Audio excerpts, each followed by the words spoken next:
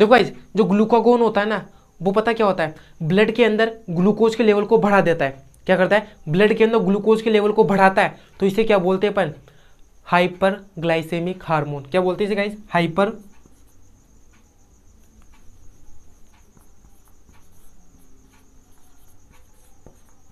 Glycaemic hormone क्या बोलते हैं जिसे हाइपरग्लाइसेमिक हार्मोन बोलते हैं। हाइपरग्लाइसेमिक हार्मोन क्यों बोलते क्यों बोलते हैं? क्योंकि ये क्या करता है इस ब्लड में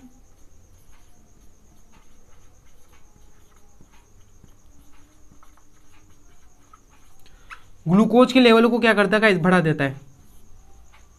ब्लड में क्या करेगा इस ग्लूकोज को बढ़ा देता है। जिस वजह से क्या बोलते हैं? Hyperglycaemic hormone. अब बात करते हैं किसकी? इंसुलिन की। दूसरा कौन सा आ जाता है अपना? इंसुलिन। इंसुलिन क्या करता है ब्लड के अंदर ग्लूकोज के लेवल को कम करता है। तो ये क्या आ जाता है? हाइपोग्लाइसेमिक हार्मोन क्या आ जाता है गाइज़ हाइपोग्लाइसेमिक हार्मोन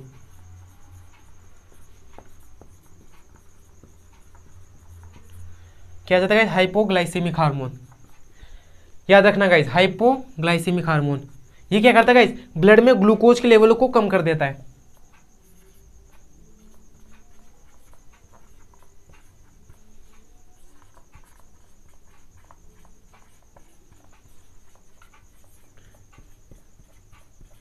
ग्लूकोज के लेवल को क्या कर देगा? डिक्रीज कर देगा।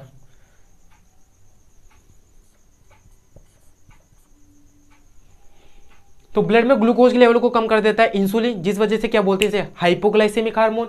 ग्लूकागोन क्या करता है? ब्लड में ग्लूकोज के लेवल को बढ़ा देता है, जिस वजह से क्या बोलते हैं इसे?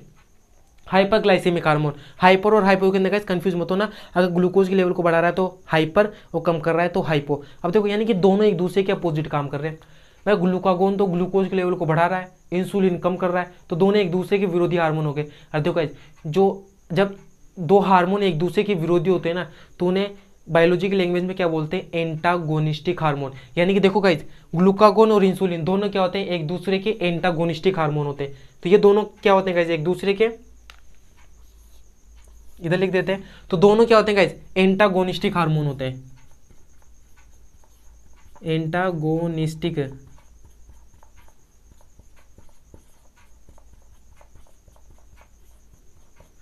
तो इन्हें, ये क्या होते हैं एक दूसरे के एंटागोनिस्टिक हार्मोन होते हैं। एंटागोनिस्टिक का अर्थ क्या होता है? एक दूसरे के विरोधी। लिख देते हैं, चलो हिंदी में आपके लिए।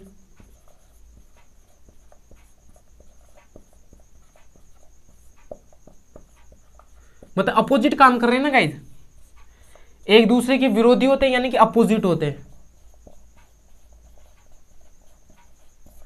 तो एक दूसरे के अपोजिट जब काम करते नहीं है तो इन्हें क्या बोलते हैं? एंटागोनिस्टिक हार्मोन और गाइस एंटागोनिस्टिक हार्मोन्स के ऊपर क्वेश्चन बन जाता है बहुत बहुत इंपॉर्टेंट होता है। आगे और से भी हार्मोन्स पढ़ेंगे। कि ये तो ग्लूकोज है, कैल्शियम आयंस के पढ़ेंगे जो कि एक कैल्शियम आयन के लेवल को बढ़ा देता है, एक कैल्शियम आयन के लेवल को कम कर देता है। थायरोक्सिन हार्मोन पैराथायरॉयड हार्मोन से ये अलग अलग हार्मोन्स आ जाते हैं ना तो और भी पढ़ेंगे तो याद रखना एंटागोनिस्टिक हार्मोन्स सारे जैसे जैसे पढ़ते चलेंगे, जैसे जैसे बताते चलूँगा। तो ग्लूकागोन और इंसुलिन क्या होते हैं? एक दूसरे के एंटागोनिस्टिक हार्मोन होते हैं। यानी कि एक दूसरे के क्या होते हैं? विरोधी होते हैं अपोजिट होते हैं। ये दिख रहा है गाइज़ आप पहले क्या उसका स्क्रीन मान लो गाइज़ देखो, मैं इधर कर देता हूँ। नीचे करते हैं अब देखो गाइज़ अब दिख रहा है पूरा? स्क्रीनशॉट मान लो इस पहले। मान ली स्क्रीनशॉट। इसी के साथ आज की मजदूरी यही खत्म करते हैं। अगर तुम्हें वीडियो पसंद आई तो लाइक मारो यार। मुझे नहीं पता मुझे दो मिलियन लाइक्स चाहिए। कैसे ना कैसे करके मुझे चाहिए। इतना झिला मैं कभी नहीं हूँ अपनी पूरी ज़िंदगी में जितना इसमें झिलाऊं मुझे चाहिए ही चाहिए। तो लाइक मारो। और अगर तुम लोग नए हो तो सब्सक्राइब करो। वो जो लाल वाला बटन है उस पर फूट फेंक के मारो या फिर मोमबत्ती। मुझे नहीं पता बस क्लिक हो जाना चाहिए। ये बड़ी अच्छी बात कही आप।